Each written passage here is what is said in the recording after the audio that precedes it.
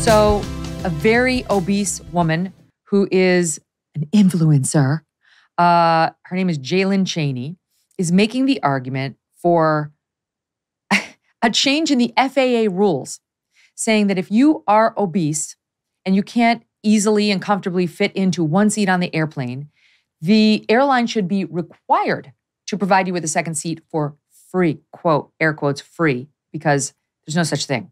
It, it we're going to pay for it. It's somebody pays for it. It's always the other customers. Um, and there's an online debate that's fierce about this, saying, "Well, the airline seats are too small, and you know, you buy a seat and it can't accommodate you. What are they supposed to? What are these obese people supposed to do? Forty percent of Americans are obese. That's our country. What do you make of it, Isabel?" You know, this debate continues to just shock and amaze me with each and every day how far we're willing to move the goalposts of what health looks like in society. My educational background is in biomedical sciences. I was pre med through college and then studied uh, essentially science policy at Georgetown University for my master's degree, where I was uninvited from speaking today because I'm too controversial as an alum. So had to had to make sure that got noticed, and that's what my tuition dollars went for. But you know, this obesity conversation and the body positive movement conversation is glossing every single magazine cover of what it means to be healthy for women. It's all over our TikTok for you pages for women, but we're not seeing the same conversation happening for men in terms of glorifying obesity, removing any sort of beauty standard or health standard. And I continue to see this continue to go around and around and around in the feminist argument uh, space online where people are debating whether or not it is healthy to be obese, whether or not it is beautiful to be obese, and how much our, our society needs to accommodate for that,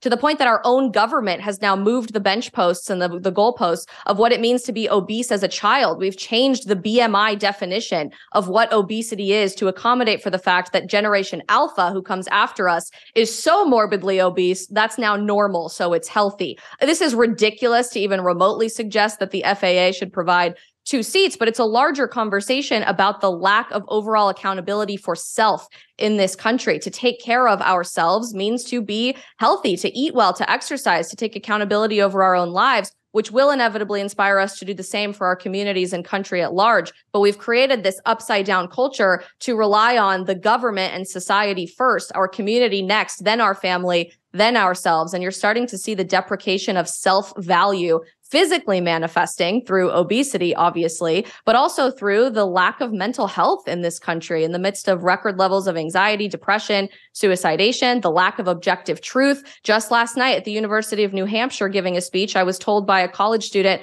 that she wouldn't have minded if she was aborted because she had such little value and regard for herself. So I think this is a much larger conversation about instilling human value and virtue back into the individual in America today and hopefully hopefully we'll see a much greater return on investment in that in society. It's really crazy. Like, I mean, well, it reminds me of the the dust up like a I don't know the past five days where the, it was I wrote down Toronto Blue Jays pitcher uh, Anthony Bass. I don't follow sports, but he was on an airplane and he was bitching because his wife had been he wasn't there, but his wife was on the airplane who was 22 weeks pregnant and she was traveling with a five year old and a two year old, their children, and and he was mad that the stewardess, the flight attendant, told his wife to clean up the popcorn that the children had spilled all over the place. He's like, my 22 week old, week month pregnant uh, wife had to get down on her hands and knees and clean up the popcorn.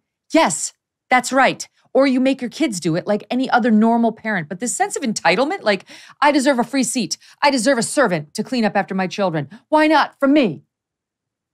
Yeah, well, everybody wants everything for free. They want to just get everything and not have to work for it. We live in a, again, all these post things, but we live in a post work generation nowadays too in America where people think that they deserve something without having to work for it. It's incredibly sad because this country was built on the back of people who knew what hard work meant. They knew what tenacity meant. They knew that if you wanted something in your life, you would go out and get it. I mean, you have what was the poll? It said like 92% of young people in this country say that they want to be YouTubers when they grow up. They want oh, some God. easy job where they can be famous and and just have their name plastered all over and have a ton of Instagram likes. Like those are the things that that young people value. If that's what young people value, then why would you expect them to value any sort of hard work or dedication or passion to something?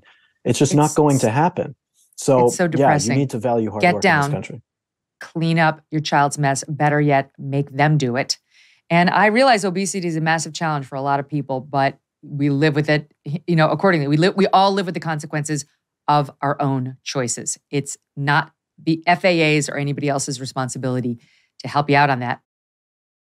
Now that it's spring, it's time to get outside and enjoy your backyard. But does your backyard need a little makeover? Start with the perfect centerpiece, a Michael Phelps swim spa by Master Spas. A Michael Phelps swim spa can transform your backyard into an oasis. The swim spa is an alternative to a pool with the therapy of a hot tub. Michael Phelps swim spas have a water current, so you can swim, you can do aquatic exercises, and just have fun with the kids. And because it's heated, you can choose your perfect water temperature and use it all year long in any climate. Michael Phelps swim spas by Master Spas come in a variety of sizes to complement almost any yard, even if it's a small one. And this is not a long, intimidated project. In fact, delivery and installation can take less than a day once your space is ready. Michael Phelps swim spas are 100% made in the USA by Master Spas, the world's largest swim spa manufacturer. You are going to love your Michael Phelps swim spa by Master Spas. Go to masterspas.com, put in the promo code MK to save $1,000 on a Michael Phelps swim spa or $500 on a Master Spas hot tub. That's masterspas.com, promo code MK. Hey, thanks so much for watching. If you like what you just saw, hit the subscribe button for more clips and full episodes.